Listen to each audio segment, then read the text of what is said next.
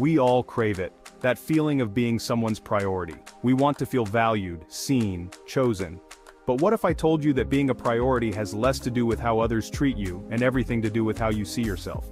It's about embodying a sense of worth that radiates outward, naturally drawing respect and admiration. The Stoics, those ancient philosophers of wisdom and resilience, understood this principle deeply.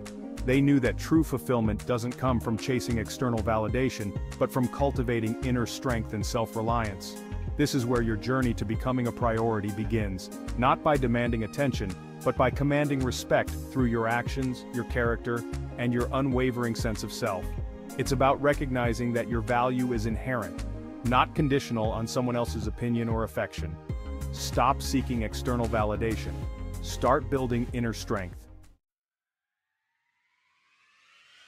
We live in a world obsessed with validation, likes, comments, swipes, it's easy to fall into the trap of seeking approval from others, especially romantic partners. But this constant need for external affirmation is a recipe for unhappiness. It makes you dependent on others for your sense of self-worth. The Stoics have a powerful antidote to this detachment. No, not emotional coldness or indifference, but a healthy separation from the outcomes you can't control. This means letting go of the need to please everyone, and accepting that you can't control how others perceive you. Remember, you are not defined by her opinions or anyone else's. When you break free from the approval trap, something incredible happens. You start living authentically, pursuing your passions and making choices that align with your values, not someone else's expectations.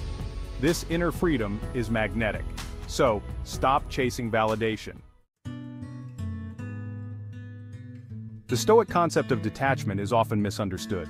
It's not about becoming emotionally numb or indifferent to your partner's feelings. Instead, it's about cultivating a sense of inner peace and resilience that allows you to weather the inevitable storms of any relationship. Think of it like this, imagine a tree standing tall amidst a raging storm. The tree doesn't fight the wind, it bends with it. This is emotional detachment in action, responding to challenges with calmness and composure rather than being swept away by emotional reactivity. When you're not constantly controlled by your emotions, you're able to show up in your relationships with greater empathy, understanding, and strength. You become a source of stability and support, someone your partner can rely on. Detachment allows you to love more fully and authentically. Boundaries are not about control, they're about self-respect. They are the lines you draw to protect your time, energy, and emotional well-being. And contrary to what some may believe, setting healthy boundaries isn't selfish, it's essential for any healthy relationship. Think of boundaries as the fence around your emotional garden. They protect what's precious to you and prevent others from trampling on your needs and values. Without them, resentment can fester leading to frustration and unhappiness. Setting boundaries involves clearly communicating your limits, what you will and won't tolerate. It's about saying no without guilt when something doesn't align with your values or priorities. Remember, your boundaries teach others how to treat you. When you consistently uphold them with respect and firmness, you command respect in return. This self-respect is the foundation for a healthy and fulfilling relationship.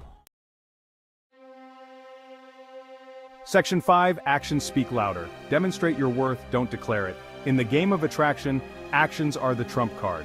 You can tell someone how much you care, how successful you are, or how much they mean to you, but it's your actions that truly speak volumes. The Stoics understood this well. They valued deeds over words, emphasizing the importance of living in accordance with your values rather than simply talking about them. Want to be seen as a priority? Act like one. Don't just say you'll be there for her, show up when she needs you. Don't just compliment her, do thoughtful things that make her feel special. Don't just tell her about your goals. Pursue them with passion and dedication. Your actions are a reflection of your priorities. They demonstrate your commitment, your integrity, and your true character. Actions are the currency of respect and admiration. Section 6, The Allure of Mystery. A little distance goes a long way. In a world obsessed with constant connection, there's an undeniable allure to mystery. We're naturally drawn to what we don't fully understand, to what we have to earn. This principle applies powerfully in relationships. Maintaining an element of mystery in your life isn't about playing games, it's about preserving your individuality and fostering a sense of intrigue. Think of it this way. Would you be more interested in a book you've already read cover to cover, or one with a captivating synopsis that leaves you wanting more? The same principle applies to your relationships. Maintaining an element of mystery involves having your own life, interests, and passions outside of the relationship. This doesn't mean being secretive or playing hard to get, it's about retaining a sense of autonomy and allowing the other person to discover you gradually over time. This creates a sense of excitement and anticipation. Section 7. The power of no prioritizing yourself for a more fulfilling life. In the quest to be someone's priority, it's easy to fall into the trap of people-pleasing. We say yes to every request, make ourselves constantly available, and neglect our own needs in the process. But here's a stoic truth. You can't pour from an empty cup. Prioritizing your own well-being isn't selfish, it's essential. Learning to say no is a superpower. It's about setting healthy boundaries, protecting your time and energy, and honoring your own needs and aspirations. It's about recognizing that you can't be everything to everyone, and that's okay. When you say yes to everything, you spread yourself thin, you become resentful, exhausted, and ultimately less capable of showing up fully in your relationships. But when you prioritize your own well-being, you create a more sustainable and fulfilling life.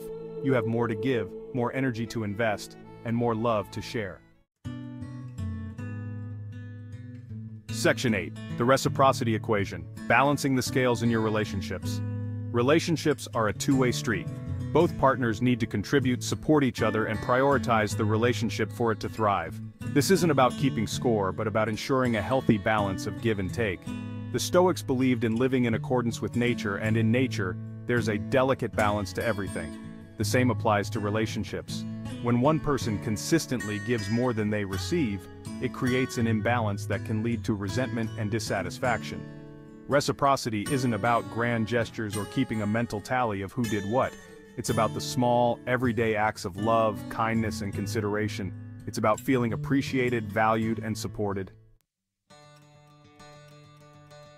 Section 9 Reframing Rejection From Setback to Stepping Stone Rejection is an inevitable part of life, especially in the realm of romance. It can sting, bruise the ego, and leave you questioning your worth.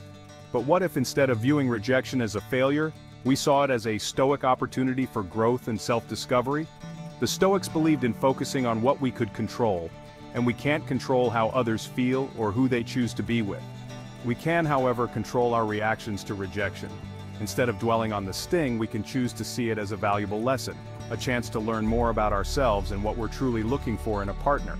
Rejection can highlight areas where we can grow, whether it's working on our communication skills, building our confidence, or simply refining our approach to dating.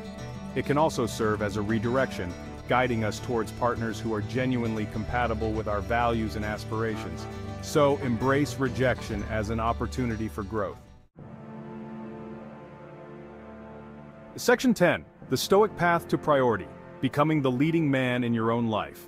Becoming a priority in someone's life isn't about manipulation or game playing. It's about embodying a sense of self-worth that naturally commands respect and admiration. It's about becoming the leading man in your own life, the hero of your own story.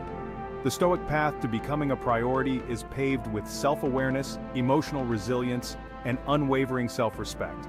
It's about living in alignment with your values, pursuing your passions with unwavering dedication, and setting healthy boundaries that protect your time, energy, and emotional well-being. It's about understanding that your worth is inherent, not conditional on someone else's opinion or affection. When you embody these stoic principles, you become a magnet for genuine connection, you attract partners who respect your boundaries, value your contributions, and appreciate you for the amazing man you truly are. Focus on building a life you love, filled with purpose, passion, and genuine connection.